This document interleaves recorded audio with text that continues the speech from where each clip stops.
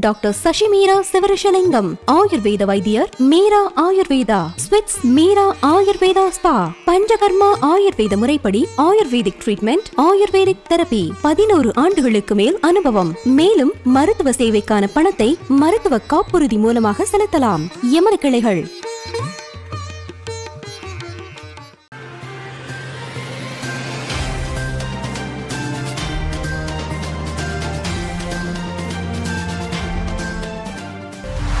ஆப்கானிஸ்தானின் முன்னாள் ஜனாதிபதியின் வீட்டில் கட்டுக்கட்டாக கோடிக்கணக்கான பணத்தை தலிபான்கள் சூட்கேஸில் அடைத்து வைத்து கொண்டு செல்லும் வீடியோ காட்சி வெளியாகி அதிக அளவில் பகிரப்பட்டு வருகிறது. கடந்த மாதம் பதினைந்தாம் திகதி ஆப்கானிஸ்தானை தாலிபான்கள் கைப்பற்றியதால் அந்நாட்டின் ஜனாதிபதி ஹஸ்ரப் ஹனி உடனடியாக நாட்டை விட்டு தப்பியோடினார் நாட்டை விட்டு ஓடிய போது அவர் கட்டுக்கட்டாக பணத்தை ஒரு ஹெலிகாப்டர் நிறைய அள்ளி சென்றதாக செய்தி வெளியானது. ஆனால் அதை அஸ்ரப் ஹனி மறுத்து வருகிறார். இதற்கிடையில் தாலிபான்கள் ஆப்கானிஸ்தானில் ஒவ்வொரு முன்னாள் அரசு ஊழியர்களின் வீடுகளும் நுழைந்து அதிரடி சோதனையில் இறங்கி வருகின்றனர். அந்த வகையில் நாட்டின் துணை ஜனாதிபதியாக இருந்த அம்ருல்லா சாலை வீட்டிற்குள் நுழைந்த தாலிபான்கள் அங்கு அவருடைய வீட்டில் இருந்து சுமார் ஆறு புள்ளி ஐந்து மில்லியன் அமெரிக்க டாலர்களை பறிமுதல் செய்தனர். இந்த வீடியோ தற்போது இணையதளத்தில் அதிக அளவில் பகிரப்பட்டு வருகிறது.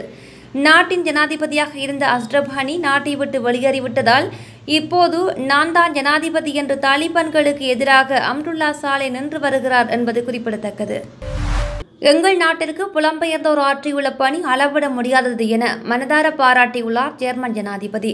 ஜெர்மனியில் துருக்கி நாட்டவர்கள் பணி செய்வது தொடர்பான ஒப்பந்தம் ஒன்று நிறைவேற்றப்பட்டதன் அறுபதாவது ஆண்டு விழா நிகழ்ச்சியில் பேசிய ஜெர்மன் ஜனாதிபதி புலம்பெயர்ந்தோரின் குடும்பங்களை மனதார பாராட்டியதுடன் அவர்கள் ஜெர்மனியின் இன்றியமையாத பாகம் என்று தெரிவித்தார்.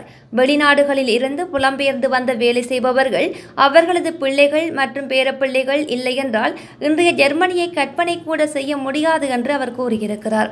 ஆயிரத்தி தொள்ளாயிரத்தி ஐம்பதுகளில் ஜெர்மனி வெளிநாட்டு பணியாளர்களை விவசாயம் கட்டுமானம் எகு தானியங்கி மற்றும் சுரங்க தொழில்களுக்காக பணியமர்த்த தொடங்கியது. ஆயிரத்தி தொள்ளாயிரத்தி அறுபத்தி ஓராம் ஆண்டு அக்டோபர் மாதம் முப்பதாம் திகதி பணியாளர்களை ஜெர்மனிக்கு அனுப்புவது தொடர்பாக துருக்கியுடன் ஒரு ஒப்பந்தம் கையெழுத்தானது.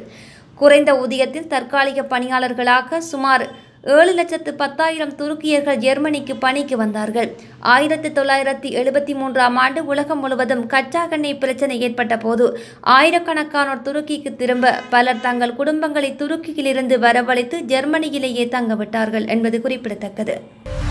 சைபீரியாவில் இயந்திர கோளாறு காரணமாக விமானம் தரையிறங்கியதை அடுத்து நான்கு பேர் பலியாகியுள்ளதாக அந்நாட்டு அரசு அதிகாரப்பூர்வ தகவலை வெளியிட்டுள்ளது. தென்கிழக்கு சைபீரியாவில் உள்ள வனப்பகுதியில் நேற்று பதினான்கு பயணிகள் மற்றும் இரண்டு பணியாளர்களுடன் ஒரு சிறிய ரஷ்ய பயணிகள் விமானத்தில் ஏற்பட்ட கோளாறு காரணமாக அவசர அவசரமாக தரையிறக்கப்பட்டது. இர்குட்ஸ் நகரில் இருந்து புறப்பட்ட எல் ஃபோர் ஒன் ஜீரோ ரக ரஷ்யா பயணிகள் விமானம் பதினான்கு பயணிகள் மற்றும் இரண்டு பணியாளர்களுடன் ஒரு சிறிய ரஷ்ய விமானம் புறப்பட்டது. இந்நிலையில் ஹசன்சிஸ்கோய் கிராமத்தில் இருந்து நான்கு கிலோமீட்டர் தொலைவில் அவசரமாக விமானம் தரையிறக்கப்பட்டுள்ளதாக விசாரணை குழு தெரிவித்துள்ளது.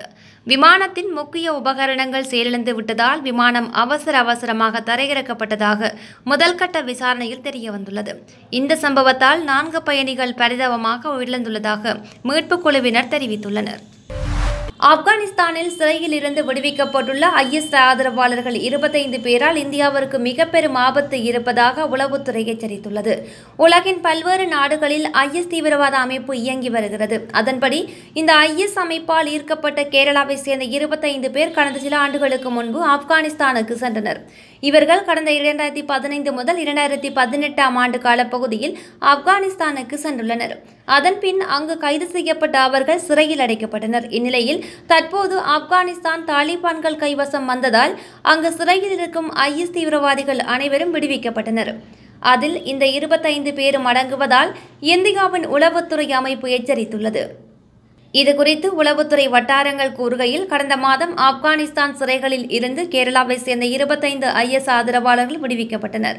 அவர்கள் அனைவரும் மீண்டும் இந்தியாவிற்கு நுழைய வாய்ப்புள்ளது. தேசிய விசாரணை குழுவின் பட்டியலில் உள்ள இவர்கள் இந்தியாவிற்கு அச்சுறுத்தல் ஏற்படுத்த வாய்ப்புள்ளது. இதனால் மத்திய மற்றும் மாநில அரசுகள் எச்சரிக்கையாக இருக்கும்படி தெரிவிக்கப்பட்டிருக்கிறது. ஏற்கனவே ஆப்கானிஸ்தானில் இருந்து வரும் விமானங்கள் கண்காணிக்கப்பட்டு வந்தன. தற்போது கடலோர மாவட்டங்கள் சர்வதேச எல்லைகள் உன்னிப்பாக கண்காணிக்க அறிவுறுத்தப்பட்டுள்ளது குறிப்பிடத்தக்கது.